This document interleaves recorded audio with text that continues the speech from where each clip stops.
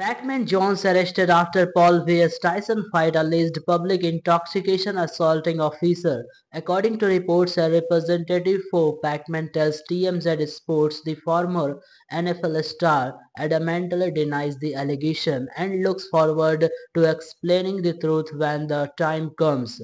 The representative added like thousands of other people in Dallas last night, Pac-Man was in town for the fight and was enjoying himself, spending time with the fans. Pac-Man was returning to his hotel to wind down for the evening. He was not looking for trouble.